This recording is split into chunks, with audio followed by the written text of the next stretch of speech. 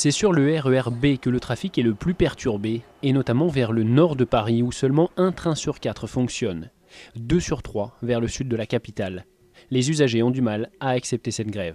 On nous ennuie à chaque fois tous les ans à Noël, c'est le problème de, de grève. Qu'ils fassent des billets gratuits. Là, ok, on sera avec eux, il n'y a pas de problème. On paye 100 euros par mois pour trois zones. Je vous assure, c'est fatigant. Un RER D sur deux roule, comme ici, gare de Lyon. Pour les TGV, le trafic est de 6 trains sur 10 en moyenne à l'échelle nationale. Même chose pour les TER, les trains régionaux, avec de grandes disparités selon les régions.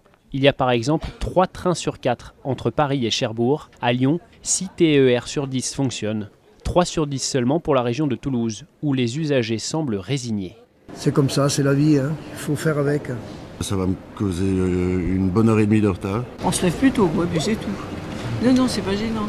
À Toulouse et Lyon, notamment des quarts de substitution ont été mis en place par la SNCF. Les Eurostars et les Thalys, eux, ne sont pas affectés par cette grève.